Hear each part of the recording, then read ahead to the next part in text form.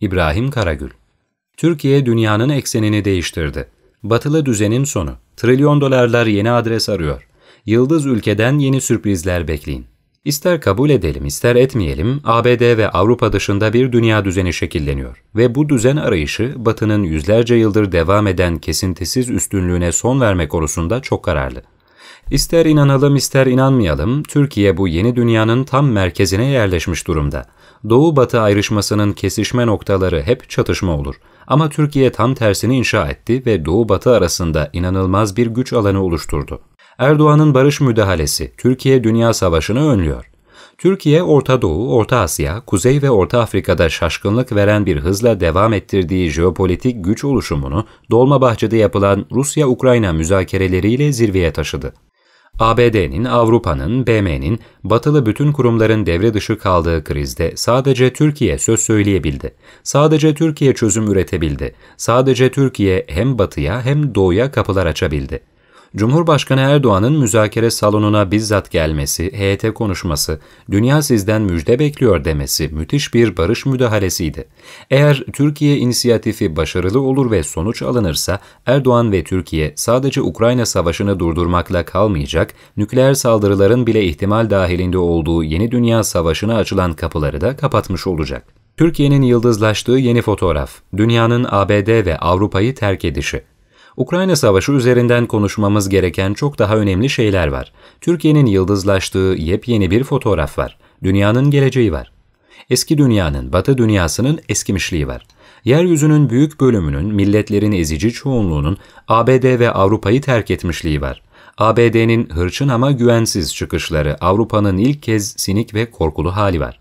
Öyleyse hem Türkiye'nin hem dünyanın yarınını, geleceğini konuşmak yeni söz söyleme alanı haline gelmiştir. Bunun dışındaki her cümle eski ezberlerdir. Eski ezberlerde saplanıp kalan bütün ülkeler, siyasi hareketler tükenecektir. Türkiye, Çin, Hindistan, Suudi Arabistan, Endonezya ambargoya neden uymadı.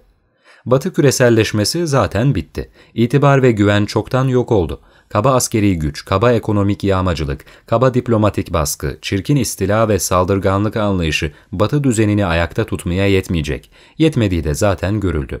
Rusya'nın Ukrayna'yı işgaline karşı ABD'nin Rusya'ya karşı başlattığı küresel ölçekli tecrit, Avrupa'nın korkularını provoke etme, Rusya'yı çökertme planı işe yaramadı. Çin, Türkiye, Hindistan, Suudi Arabistan, Endonezya, Körfez ülkeleri ve daha birçok ülke bu ölümcül yaptırımlara katılmadı. Her ülke Ukrayna'nın işgaline karşı durdu ama ABD ve Avrupa'nın bu savaşı kışkırttığını bildi. Bu sefer Batı tehdidi altında ama dünya umursamadı bile. En önemlisi de bu ülkeler müttefik olmalarına rağmen ABD'ye güvenmedi, inanmadı. Onunla hareket etmenin artık bir tehdit içerdiğinin, yeni dünyayı kaçırmak olduğunun farkına vardı. 1991 Körfez Savaşı'nda dünyanın neredeyse tamamı ABD'nin arkasında yer almıştı. 2003 Irak işgaline ABD'nin yakın müttefikleri destek vermiş, dünyanın büyük çoğunluğu karşı çıkmıştı. Ama bu sefer başka ülkeler, Müslüman topraklar değil, savaş Avrupa kapılarında. Dünyanın merkezi tehdit altında, bu sefer kendileri yardım istiyor. Ama ABD'nin dünyayı ayağa kaldırma çabaları sonuçsuz. Hatta Avrupa ülkelerinin bir kısmı bile ABD ile hareket etme konusunda tereddütlü. ABD tüm dünya için bir varoluşsal tehdittir. Batı'nın oluşturduğu uluslararası kurumlar, kuruluşlar ve sistemler etkisini kaybediyor. Dünyanın ezici çoğunluğu tarafından bir varoluşsal tehdit olarak algılanıyor.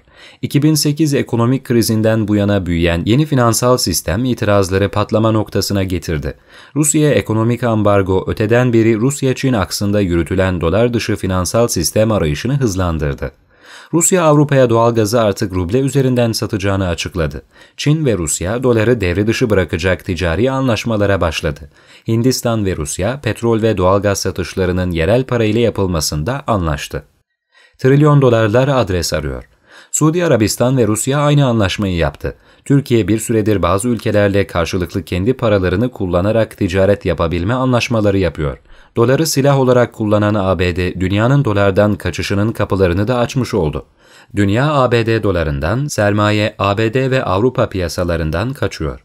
Trilyon dolarlar farklı ekonomik piyasalara, farklı para birimlerine yöneliyor. O fonlar Türkiye'ye akar mı?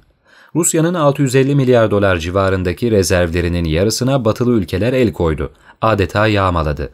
Bu bir emsal oluşturdu ve herkes şimdi ABD ve Avrupa'daki varlıklarına el konulacağı panini yaşıyor.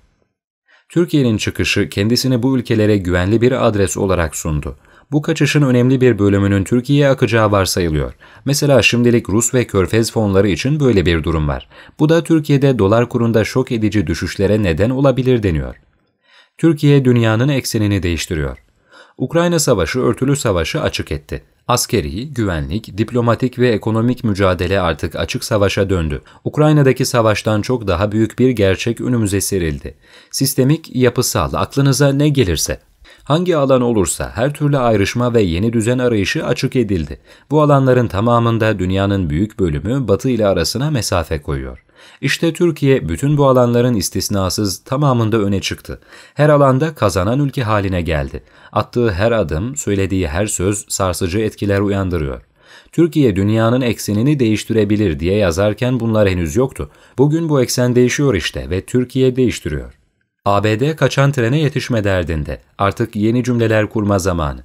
ABD Başkanı Biden'ın yeni düzen kurulacak cümlesi kendi projelerini anlatmıyor. Kaçıp giden bir trene yetişme çabası bu. 1990'lardan bu yana sürekli yeni dünya düzeni diyen ABD ilk kez kendi dışında oluşan bir dünya düzenine ayak uydurmaya çalışıyor.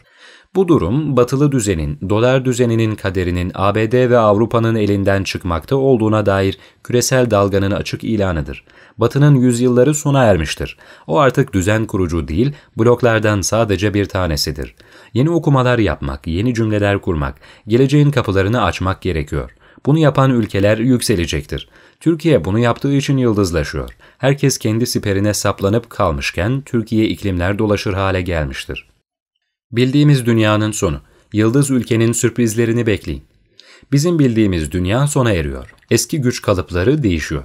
Büyük güçlerin imtiyazları ellerinden alınıyor. Sömürgeci devletlerin zenginlik ve saltanatlarını sona erdirecek uyanışlar gerçekleşiyor. İmparatorluk geçmişi olan milletler yeni sözlerle geri dönüyor. Şaşırtıcı yükselişler, şok edici çöküşler dönemi başlıyor. Çok yakın gelecekte farklı bir dünya haritası, güç haritası göreceğiz. İşte Türkiye bütün alanlarda buna hazırlanıyor. Açık söyleyelim başardı. Bundan sonra yıldız ülkenin sürprizlerine tanık olacağız. Türkiye yüzlerce yılın aklıdır. Türkiye'ye inanan kazanacaktır. İbrahim Karagül Taha Kılınç İslam dünyasına dair Müslümanların mevcut durumuna ve parçalanmışlığına bakarak bazılarının itiraz ettiği veya anlamsız bulduğu İslam dünyası tabiri bütün olumsuzluklara ve eksikliklere rağmen yine de somut bir coğrafyaya işaret ediyor. Mağrip'ten Maşrık'a kadar Müslümanların asırlardır yaşamaya devam ettiği ülkeler ve şehirler kurduğu, vaktiyle imparatorlukların hakim olduğu, anıt eserlerle donatılan, İslam'ın günlük hayatın rutinine sindiği ve görünür hale geldiği yaklaşık 8 bin kilometre uzunluğundaki kuşağı, kuzeyiyle ve güneyiyle beraber İslam dünyası diyoruz.'' Eski dünyada tabir edilen bu coğrafya, asırların ötesinden günümüze uzanan serüveniyle insanlığın bütün öyküsünün en önemli kesitlerinin de yaşandığı bölge aynı zamanda. İslam dünyasının tamamını gösteren bir haritayı masasına yayan bir kişi, Fas'tan ta Doğu Türkistan'a kadar tarihin coşkulu akışını ve çatışmaların şiddetini aynı anda görür. Camilerle, medreselerle, saraylarla, dağlarla, denizlerle, nehirlerle, göllerle, farklı ırk ve renklerle, değişik iklim, bitki örtüsü ve doğal zenginliklerle, kısacası beşeri kaynak, insan eseri veya tabiat nimeti olarak coğrafyada ne mevcutsa hepsiyle hemhal olunur. Bakışlara böyle bir derinlik yerleştiğinde ise artık İslam dünyası var mı gerçekten sorusunun ne kadar fuzuli olduğu da ortaya çıkar. Çünkü vardır ve orada dipdiri durmaktadır her şeye rağmen. Bu manzarayı rakamlar ve sayısal veriler üzerinden okuduğumuzda karşımıza çıkan tablonun en çarpıcı unsurları şunlar. Dünya nüfusunun yaklaşık %25'i yani 1.9 milyar Müslümanlardan oluşuyor. Orta Doğu ve Kuzey Afrika'da kendisini Müslüman olarak adlandıranların oranı %91, Orta Asya'da %89, Güneydoğu Asya'da %40, Güney Asya'da %31 ve Sahra Altı Afrika'da %30 civarında. Dünya Müslümanlarının %13'ü yani 230 milyon Endonezya'da yaşıyor. Endonezya Müslüman nüfus yoğunluğu yönünden İslam dünyasında liste başı. Güney Asya tek başına dünyadaki Müslümanların %31'ine ev sahipliği yapıyor. Müslümanların %20'si Orta Doğu ve Kuzey Afrika'da yaşarken, Hindistan dünyanın en kalabalık Müslüman azınlığını yaklaşık 210 milyon Müslümanı barındırıyor. Öte yandan Müslümanların %85'ten fazlası Sünni İslam'a mensup. Kendisini Sünniliğin rakibi ve antitezi olarak konumlandıran Şia'nın oranı ise %10-15 arasında değişiyor. Bazı modern kaynaklar İslam dünyasındaki Sünni-Şii dengesini %80'e %20 olarak da veriyor.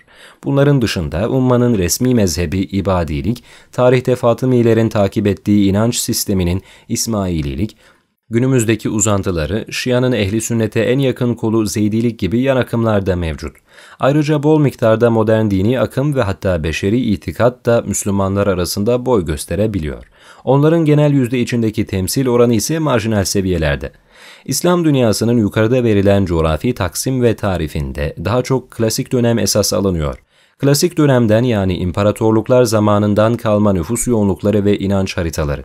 Ancak bugün bütün batılı kaynakların üzerinde ittifak ettiği bir hakikat var.